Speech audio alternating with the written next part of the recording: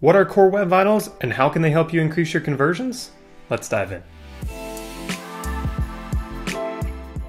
Core Web Vitals are three web performance metrics established by Google to help measure a user's experience with your site.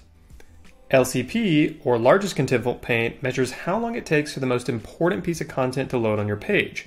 Normally, this is a banner image, featured product image, or a big block of text. You want this to be under 2.5 seconds so that your visitors are less likely to bounce. FID, or first input delay, measures how long it takes for the page to respond when a user interacts with it. So this could be when they click on the menu, another image, option selector, or add to cart, and you want it to be under 100 milliseconds so that it feels snappy and smooth.